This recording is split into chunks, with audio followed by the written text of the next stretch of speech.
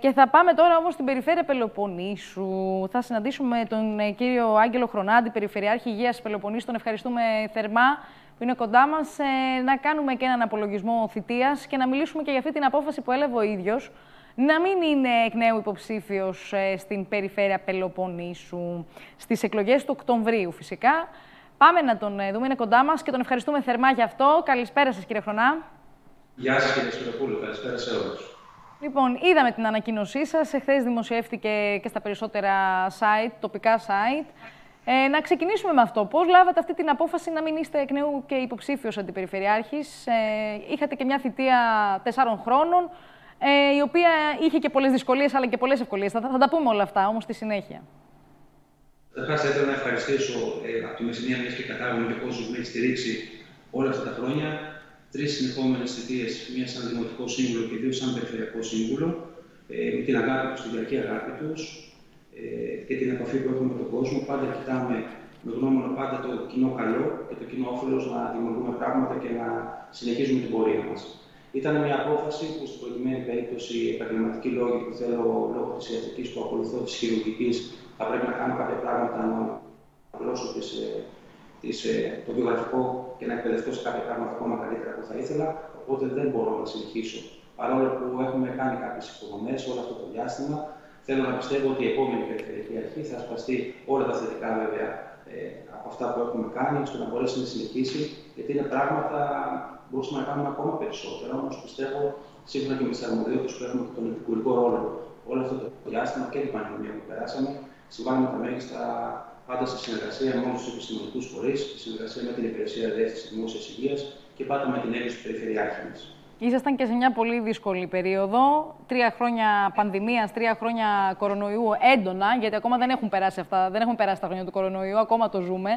Αλλά ήταν η περίοδο της καραντίνας, η, περίοδο που, η περίοδος που πραγματικά ήταν κρίσης, θα έλεγα, και για την περιφέρεια ε, και για εσάς που ήσασταν και σε αυτή τη θέση. Ε, ποιες ήταν οι δυσκολίες που αντιμετωπίσατε εκείνη την περίοδο, κύριε Χρονά; Ξέρετε, στο άτομο όταν μου δόθηκε η αρμοδιότητα για τα θέματα υγείας ήταν αρκετά αμφωτικό όλο αυτό, γιατί είχαμε την περίοδο κρίσης του κορονοϊού, όταν μου ανέθεσε ο Περιφερειάρχη στο δύσκολο αυτό πόστο. Ε, έπρεπε να επενδύσουμε κυρίως σε αυτό. Δεν γινόταν κάτι διαφορετικό να κάνουμε. Ουσιαστικά να έχουμε όσο πιο συχνή επαφή γίνεται με τους ε, συναδέλφους γιατρούς, με τα νοσοκομεία μας, να κοιτάξουμε πραγματικά τις ανάγκες που υπήρχαν, κυρίως σε ιατροτεχνολογικό εξοπλισμό, που σχεδόν ό,τι μα ζήτησαν και ό,τι μας ζητούν σε καθημερινή βάση αξιολογούνται από τις υπηρεσίες μας και όπου μπορούμε να συμβάλλουμε πραγματικά. Γιατί όπως έχω πει αρκετές φορές, αν γίνει και μια ορθή χρήση των μηχανημάτων και συντηρηθούν σωστά και υπάρχει βέβαια το κατάλληλο ποσοστό, αυτές είναι οι παρακαταθήκες για την υγεία για το μέλλον. Ε, βέβαια, τα προβλήματα στην υγεία παραμένουν αρκετά. Ε, εγώ επισημαίνω κυρίως η έλλειψη του ανθρώπινου δυναμικού, γιατί μην ξεχνάμε ότι οι γιατροί, αυτά που ξεκινούν από λίγο στο νοσοκομείο Καλαμάτα που παρευρέθηκα, ε, εξαρτούν τις δυνάμει τους. Είναι τμήματα που δεν μπορούν να βρουν εφημερίες, είναι τμήματα που δεν τα καταφέρνουν οι γιατροί, επιβάλλουν ε, αυτό και φιλότιμο και το νοσηλευτικό προσωπικό και το ΕΚΑ. Όλοι αυτοί, ξέρετε, στηριζόμαστε το ανθρώπινο ελληνικό φιλότιμο που υπάρχει στις υπηρεσίες υγείας για να μπορέσουν να το βάλουν πέραση. πέραση. Όμως ε, χρειάζονται υποστήριξη, χρειάζονται υποδομές ε, και κίνητρα για να δοθούν έτσι όπως έχουμε πει στους ε, ιδίως στους γιατρούς της επαρχίας. Να δούμε όμως και τα έργα τα οποία έγιναν ε, αυτή την περίοδο. Ε, κάνουμε και έναν μικρό απολογισμό, θα λέγαμε, γιατί είμαστε και σε προεκλογική περίοδο. Ε, να δούμε λοιπόν ποια ήταν αυτά που έτρεξε η Περιφέρεια Πελοποννήσου, ο Περιφερειάρχης, ο κύριος ε, Παναγιώτης Νίκας, όλη αυτή την ε, περίοδο. Φυσικά επικεντρωνόμαστε στα θέματα υγείας. Αν και προεκλογική περίοδος, μια και δεν θα είναι υποψήφιος, μπορεί και πιο άνετα να τα λέω τα έργα μας. Ε, επενδύσαμε σε ιατροτεχνολογικό εξοπλισμό πάνω από 100 εκατομμύρια ευρώ. Ε, μπορέσαμε να βοηθήσουμε στο λοιπό υπηκοϊκό προσωπικό με μισθοδοσίες, να στηρίξουμε τις μισθοδοσίες αυτών με 20 εκατομμύρια ευρώ.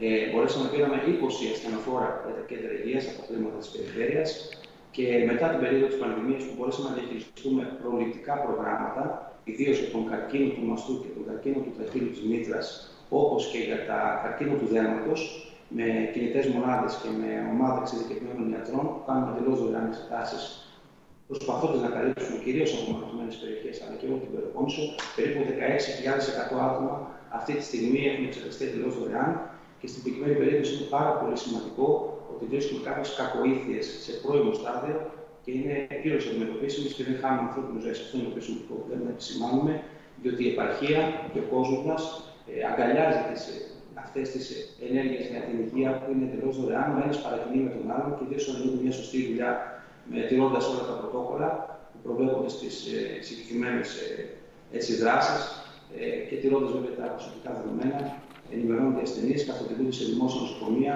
και έχουμε μια πλήρως αντιμετωπίσιμη κατάσταση. Μάλιστα. Ε, Μην να σας ευχηθούμε καλή επιτυχία σε ό,τι και αν κάνετε. Ε, είμαι σίγουρη ότι όλα αυτά που τρέξατε όλο αυτό το διάστημα νομίζω τα καταφέρατε αρκετά καλά, κύριε Χρονάκη, για το χρόνο που είχατε και για τις δυσκολίες που είχατε λόγω και εξαιτίας της πανδημίας του κορονοϊού. Καταλαβαίνουμε ότι κάπως τα πράγματα άλλαξαν και έπρεπε σε στιγμές κρίσης και εσείς να, δρά, να δράσετε ανάλογα. Έτσι, ήταν μια στιγμή που δεν ήξερε κανείς τι να κάνει και πώς να δράσει. Ήμασταν όλοι ε, σε περίεργη κατάσταση. Ε, ομάδα αλλάζαν τα δεδομένα τότε, δεν ξέραμε. Βέβαια. Μιλατούσαμε πράγματα και καταστάσεις για να μπορούμε το επόμενο βήμα, γιατί ήταν ο, ο ιός μπροστά από εμάς και ακολουθούσαμε στην προκειμένη περίπτωση. Τώρα είμαστε όμως σε μια φάση που γνωρίζουμε αρκετά πράγματα, μπορούμε τελείως διαφορετικά να τα αντιμετωπίσουμε. Ε, βέβαια, εμείς σαν Περιφερειακή Αρχή, όσο είμαστε ακόμα, θα κάνουμε κανονικά ό,τι έχουμε δημιουργήσει και οφείλουμε να το κάνουμε αυτό. Και όπως είπαμε, να υπάρξει μια παρακαταθήκη για το μέλλον για τους συναδέλφους που θα ασχοληθούν στο δύσκολο αυτό κομμάτι της υγείας, ώστε να μπορέσουν να κάνουν περισσότερα πράγματα για τι πολυπονήσει. Δεν αποχαιρετάμε ακόμα, γιατί προφανώς μέχρι τέλος του έτους είσαστε ακόμα στη θέση του Αντιπεριφερειάρχη Υγείας Πελοποννήσου. Το έργο ακόμα συνεχίζεται. Κάναμε ένα μικρό απολογισμό και σας ευχαριστούμε θερμά που ήσασταν κοντά μας ε, σήμερα. Εγώ να ευχαριστήσω και το κανάλι και εσάς προσωπικά που αναδεικνύεται κάθε μας δράση, κάθε φορά και ειλικρινά σας ευχαριστώ από καρδιά. Να είστε καλά, να είστε καλά. Καλή συνέχεια.